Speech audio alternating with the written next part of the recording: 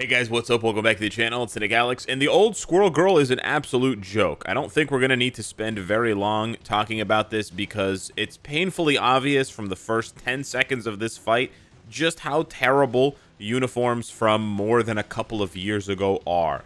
And we're going to go ahead and pop the tier 3 skill so you guys can see that basically she does about 5 times more damage with the tier 3 skill than literally anything else. Because the tier 3 skill was designed in the year of the 2023, whereas everything else was designed, you know, five plus years ago. So, as just a standalone uniform for Squirrel Girl, this is a massive, massive, just almost incalculable upgrade, right? We're going to go back into that same stage here just very briefly. Okay, we're, we're not going to spend the whole time focusing on this comparison. But I just like I think this sort of gets lost nowadays when these when these uniforms come out. Uh, it gets lost in the the hubbub about how these uniforms compare to other uniforms, etc. But as you can see here, um, in just in just a brief moment, right, it, with just a fraction of a skill, she's able to do more damage than the entire double rotation plus the tier three was able to do.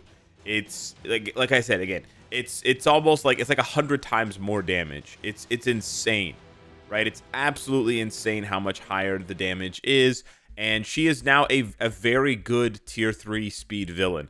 Um, to put it into perspective here, she's able to do stage 39 easily with an obelisk, and I'll show you the clip of that now where she crushes it. She's actually faster than Thanos. Squirrel Girl, uh, Nutty Nutty Titan is actually faster than the Wise Harvester Thanos um, and probably one of the best if you are trying to climb World Boss Legend and you're not using, um, you know, characters like Moonstone, characters that are native tier 2. Because let's be honest, a lot of villains in this game are um, expensive, right? A lot of the villains in this game, oh, just use Doctor Doom. Oh, okay.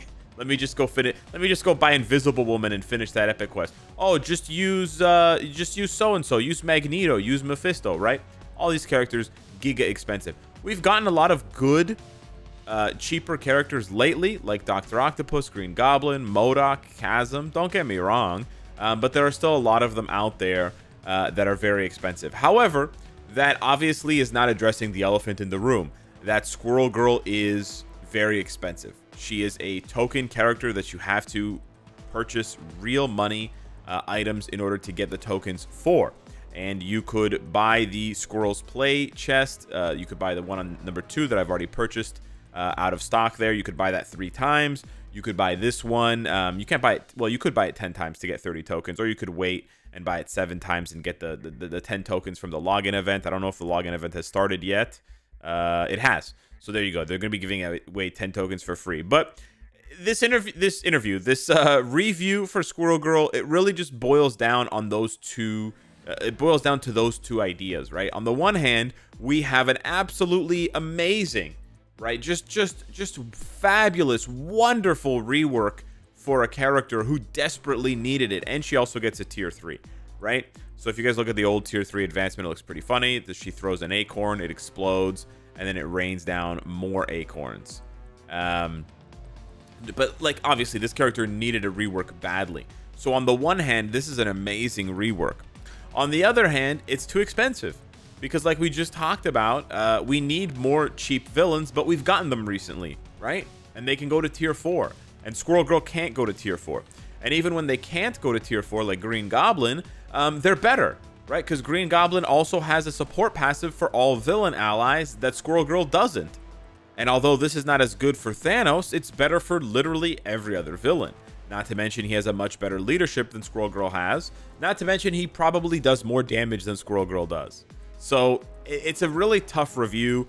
Overall, I would say this this uniform is only if you want Squirrel Girl to be stronger. I would not get this uniform if you're looking for a speed villain or a villain in general, because like I just highlighted, Green Goblin and Dr. Octopus easily fulfill that need, and they're just straight up better than Squirrel Girl is. The only advantage this uniform really provides besides the the FOMO that will be relieved when you buy the uniform and you're like, oh, thank God. I don't have to worry about this uniform becoming like a giga meta over the next 11 months and then regretting not buying it in April, back in April 2023, right? Um, that's the only thing this uniform is going to do for you, which unfortunately it's going to trick some people into buying it.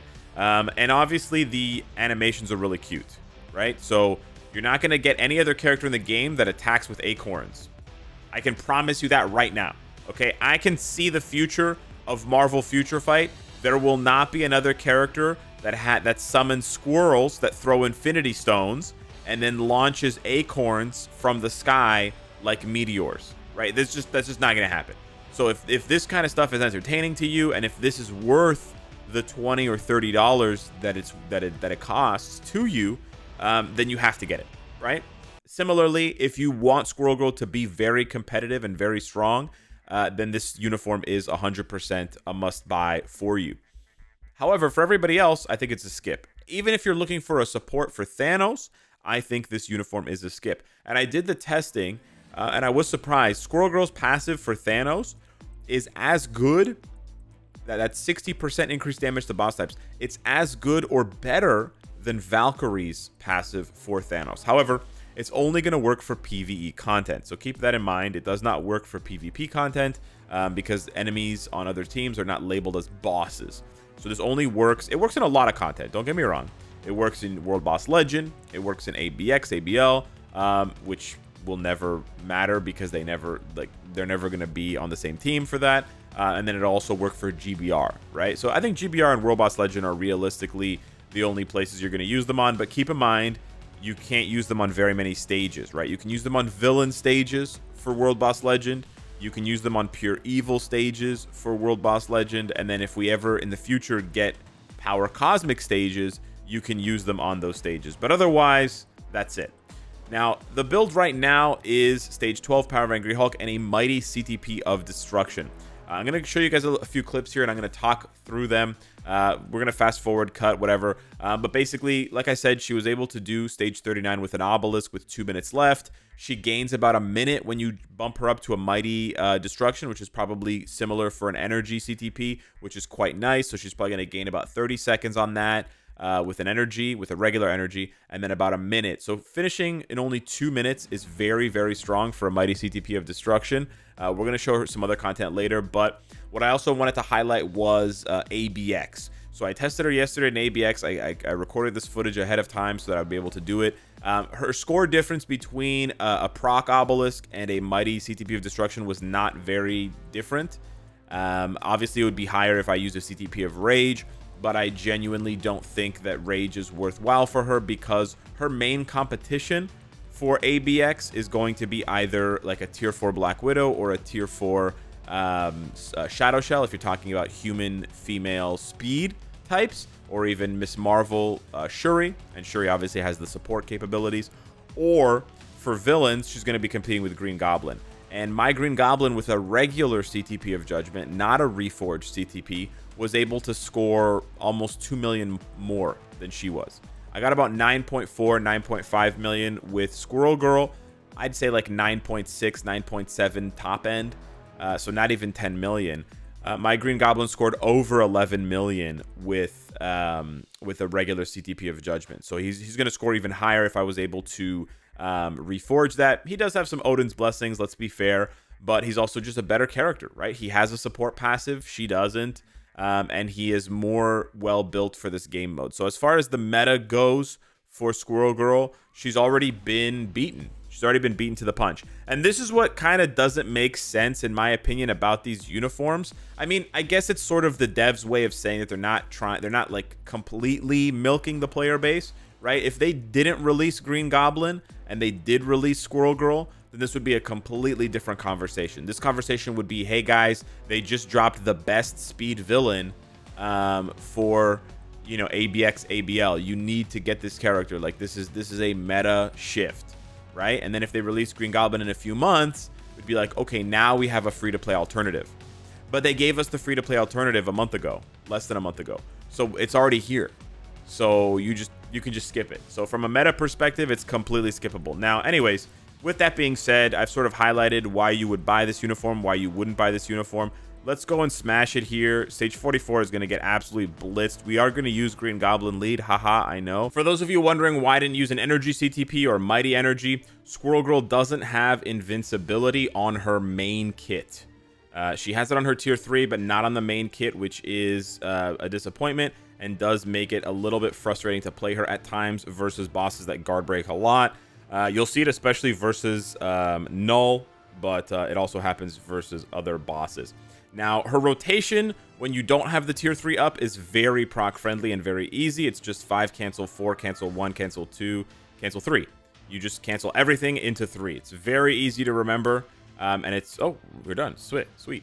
Uh, it's very easy to remember, and it's also very, uh, you know, consistent. However, when you pop the tier 3, you have to delay cancel until she throws the little orb, just like Thanos throws the orb. Um, so that can trigger the next proc, and also there are some lingering hits on the third on the tier 3 skill. There are some lingering hits, uh, and that can trigger your next proc as well. So I can't actually give her that that stellar of a rating for uh, proc friendliness because of those two issues. Now there, our proc was just giga delayed. Uh, what it does do though is it shows us how tanky she is. That whole time that I was talking to you, I just basically ignored all of Mephisto's, um, you know, animations and things and attacks, and it didn't matter. There, uh, Taskmaster got shredded, but that's okay. Taskmaster, we don't need him. We need him for the support. That's all we need him for. But yeah, so before the tier 3, 10 out of 10 proc friendliness during the tier 3, it's like a 7 out of 10. It's honestly not that good, and you can definitely miss the proc. And in the clips that I showed you guys for her ABX uh, rotations, there we go. We just we just procced by accident uh, the next rotation with some lingering hits from the tier 3, which is, yeah, just an unfortunate uh, design flaw, I guess, of the tier 3. There's just too many lingering hits.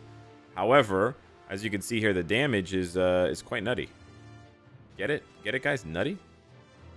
Ha But yeah, we're popping off, dude. We're flying. We are flying. And I think I did this one faster on uh, on a test run that I was doing. Um, I don't know if this is a good idea. Oh, it's actually not bad. Oh, it's actually not bad at all. Okay. We're just going to finish him off here. But yeah, super fast, super strong, tanky. Like, as a standalone character, she is very good. She's very good. She's fun to play. And like I said, you're not going to find a character who, um, you know, who throws nuts anywhere else. Just a quick little showcase. Uh, unfortunately, this is like kind of tier 4 only territory, which although she has the um, ability for it, it just doesn't doesn't really work, right? Even with a mighty CTP, as you can see here, she gets may just less than a bar worth of damage. We can try it. I can I can play play it out a little longer here. Uh, sometimes I do one cancel two, sometimes I don't. It doesn't matter that much. It just matters for the first rotation, so you build up the tier three. Um, but uh, yeah, let's see here. We didn't miss any of our procs, so this is kind of like a best case scenario for the damage. And he interrupts my uh, tier 3 skill to iframe for one of his animations. Okay. Yeah, so 30 seconds in, uh, you know, two bars of damage. There's just no way. Yeah, this is this is just not happening in in any way, shape, or form. So so yeah. Unfortunately, although she has the tag, she's really she would really only be here to buff up your Thanos. But again, I think Thanos at level 80 will probably be able to probably be able to do this. Maybe not. Um, at tier 4, he'll definitely be able to do this there are multiple stages where Thanos is useful and needed for Ultron. You, again, you can use him here on 55 if you don't have Carnage, and then again, I believe on 80 uh, versus Ultron. But again, you're probably gonna need him tier four for that. Um, but yeah, you don't use Squirrel Girl in that sense, and he can probably do it without her. So yeah, unfortunately, this uniform just there's no need. It's it's not unfortunate. It's, it's not like I I don't know like. it's it's such a weird review. It's such a weird review. It's a paid uniform but it has no obvious need. But it's good. I guess this is the best case scenario. I don't know. Uh, it's weird because free to play and low spending players will look at this uniform and be angry at two completely opposite things. They'll be angry that it's that it costs money, of course, that one's obvious. But then they'll also be angry that it's not that strong, which kind of goes against the whole principle of like pay to win, right? Like if this uniform was really OP, then it would be more pay to win. So it's it's you know on one hand it's good that it's not more OP because then it's then it's not pay to win. But on the other hand, then it's a skip and it's just boring because then you can just ignore it. So I, I don't really know. Yeah, but that's that's honestly the review. And uh, you know, for those of you wondering, she basically has zero PvP value, no iframe ignore, nothing. Nowadays, I think iframe ignore is by default needed. Uh, if not, an iframe ignore with a counter skill is needed for any kind of PvP viability, um, even for something like Alliance Conquest. So I don't I don't see her having much value at all. Um, I mean, she'll have some value, but like very very low on the scale, considering you know no invincibility, no super armor by default and then uh, no penetration either, which is crazy.